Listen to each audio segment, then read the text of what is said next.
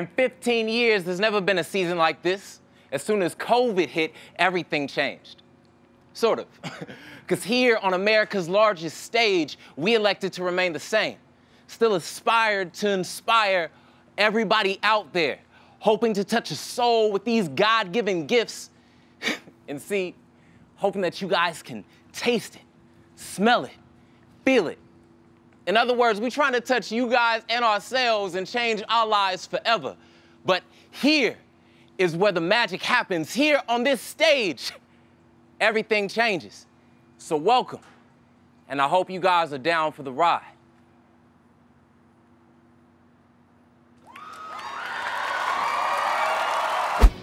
All right, if you'd like to subscribe and see more, click below. Now,